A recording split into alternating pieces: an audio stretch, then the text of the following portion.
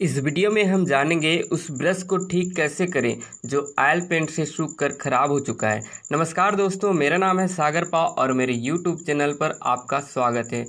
दोस्तों, अक्सर हमारा थोड़ा सा लापरवाही और मजबूरी के कारण हमारा ब्रश खराब हो जाता है। लापरवाही यह कि हम उसे अच्छी तरह से धोते नहीं और मजबूरी ये कि हमारे पास तारपिन आयल ख़त्म हो जाता है। ऐसे स्थिति में जो है हमारा राइटिंग ब्रश ख़राब हो जाता है। देखिए दोस्तों, यहाँ पर मेरा पास एक ब्रश है, जिस पर मैं उंगलियाँ फेर रहा हूँ तो मुझे पता चल रहा है कि इसके बाल जो है सूख कर हार्ड हो चुके हैं। ये सॉफ्ट नहीं लग रहा है। और आप देख ही सकते हैं कि इस ब्रश के जो बाल हैं, आपस में एक दूसरे से चिपक गए हैं। ऐसे स्थिति में दोस्तों, इसे हम जितना भी तारपिन ऑयल से साफ़ करें, ये साफ़ नहीं होता। और ऐसे ब्रश से राइटिंग करने से क्या नतीजा निकलता है? चलिए देखते हैं। देखिए, यहाँ पर मैं लिख रहा हूँ, वे तो जो लाइन है वो ठीक से खींची नहीं जा रही है और इस पर गेपिंग भी छूट रहा है। इस ब्रश से लिखने में बिल्कुल अच्छा नहीं लग रहा है, बिल्कुल मज़ा नहीं आ रहा है। मैं कोशिश करता हूँ इस ब्रश से पॉइंट बनाने का। देखिए दोस्तों, मैं पॉइंट तो बना रहा हूँ, लेकिन जो पॉइंट है अच्छे से नहीं बन रहा है, जो इस पर नोक बनाते हैं, वो अच्छे से बिल्कुल नहीं आ रहा है। इस ब्रश से मज़ा ही नहीं आ रहा है यार। तो चलिए जानते हैं कि इस ब्रश को किस आल से साफ़ करें ताकि ये पहले की तरह फ्रेश हो सके, पहले की तरह राइटिंग लिख कर दे सके। देखिए दोस्तों, यहाँ पर है मेरा जादू का डिब्बा।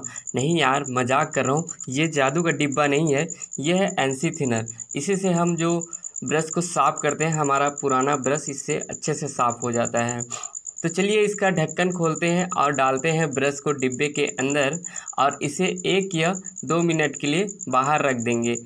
दोस्तों, बाहर इसलिए कि अगर इसे हम अंदर ही डाल देते हैं और रख देते हैं तो इसके बाल जो है मुड़ जाएँगे। इसीलिए हम इसको बाहर निकाल कर रखेंगे एक मिनट के लिए या एक या दो मिनट के लिए। तो इससे जो है हमारा ब्रश भीग जाएगा और अच्छे से इस पर जो पेंट है वो निकलने लायक भीग जाएगा। और एक बात आपको बता दूँ कि ये जो एन सी थिनर है, वो उड़ जाता है, इसलिए इसका ढक्कन हमेशा बंद करके रखना चाहिए, खुला नहीं छोड़ना चाहिए। और एक बात आपको और बता दूँ कि इस एन सी थिनर का असर इतना है कि बोर्ड से बोर्ड पर जो कलर है, वो भी निकल जाता है।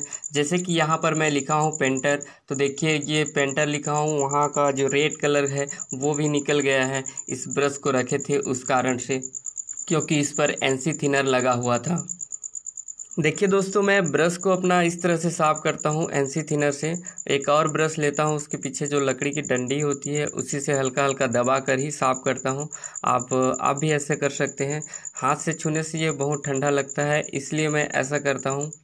और ये मेरा ब्रश जो है, ज़्यादा ख़राब नहीं हुआ था, इसीलिए ये एक ही बार में साफ़ हो गया। अगर आपका ब्रश ज़्यादा ख़राब है तो आपको दो या तीन बार इस तरह से साफ़ करना पड़ेगा।